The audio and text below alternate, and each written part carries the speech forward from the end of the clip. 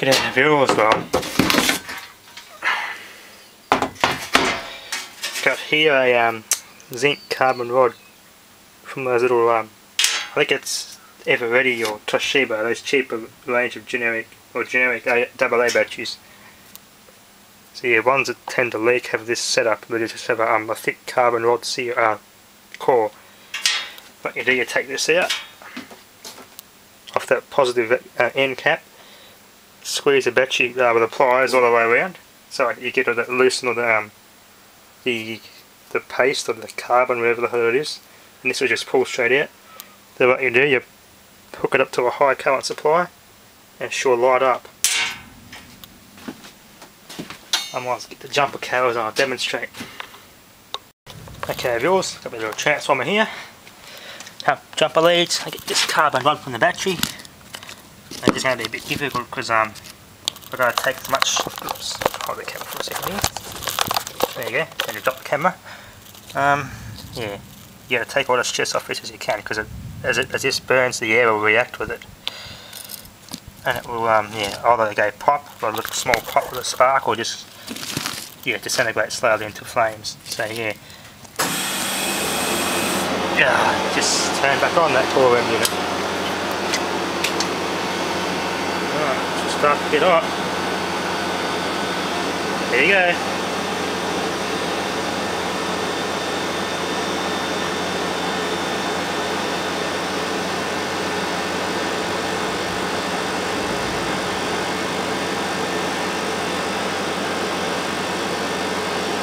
Probably going to lock the board on fire. when the air starts reacting with it, it should go bang. I used to do it with um, grey lead pencils. These don't tend to last long though. The bigger the rod, the carbon rod, the longer it lasts. If I use something like a, um, a large uh, arc rod or something like that, that'll be a lot brighter. Yeah, it's not what I'm expecting, but it's lit, it's lit the little board on fire under here.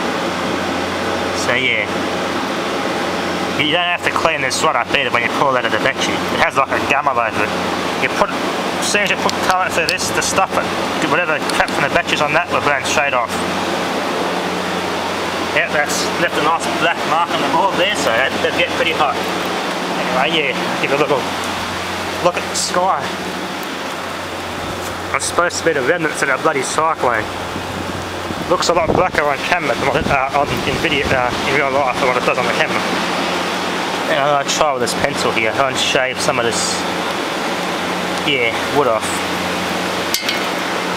Give that a good burn out, burn the wood off that and we'll see how long that lasts. Just take this off carefully. I want to keep that. Try and hook it up to the old arc rod I've got. Yeah, that might, yeah, that's about 200 amps flat out if I use a high voltage one which is 80 volts which that should be a lot brighter although it won't last as long yeah I'll give this a good file back so I can get a excess of lead. I'll give this a burn out okay viewers well the rain's just started up.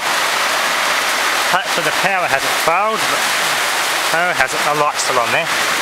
Try and get this pencil to hold as best I can. Yeah, I'm rolling the double legs up a bit. Transformer's not that warm, that's a good thing.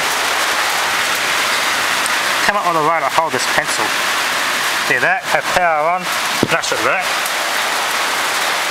Alright. Although I don't know if this is the right type of lead.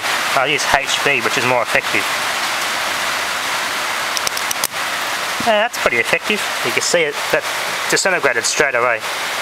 The lead's gone, so you're gonna need to use um if you take the lead out, have this in a, like a filament holder, if it's a wire, stick that in the milk bottle with a sealed cork and have it on a vacuum pump, take the air out, and that lead will last, will never ever break down, it will last for ages. It'll just keep getting hotter and hotter, because there's no air. So, took the air out of the equation, this will work real well.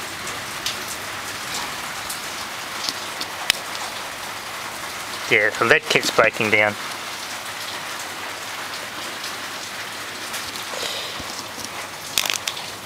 There we go.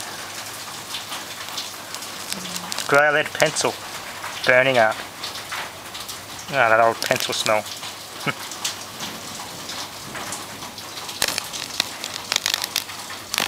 there you go, the lead's glowing, the actual, yeah, the, um, the grey lead's glowing, glowing red hot. I think it's breaking down, there you go.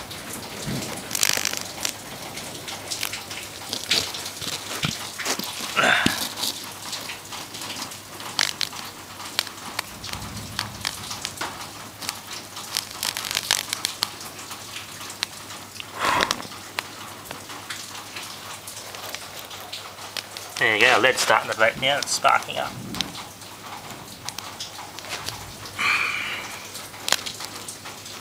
There's a lead right there.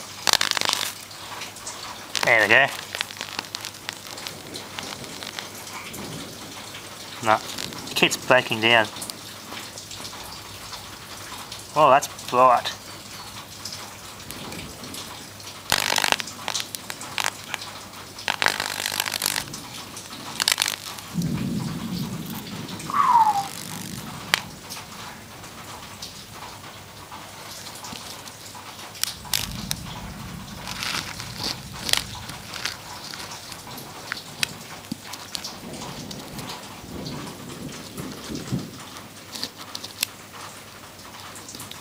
Can't get a good connection here now, I'm going to try and plow it a bit.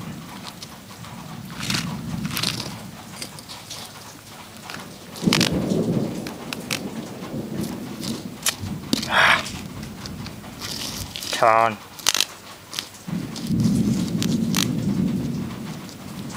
No, can't get a good connection.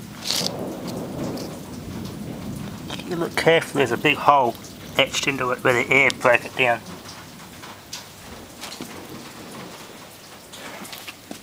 Um, yeah, my type of jumper leads haven't got a good enough clean area to get a good connection on this thing, so I'll try and clamp it on if I can. We'll go again.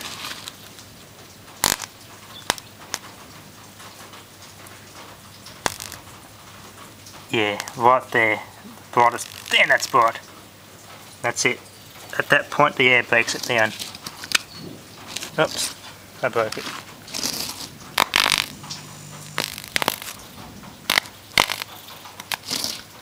Be wearing riding goggles, that's very bright.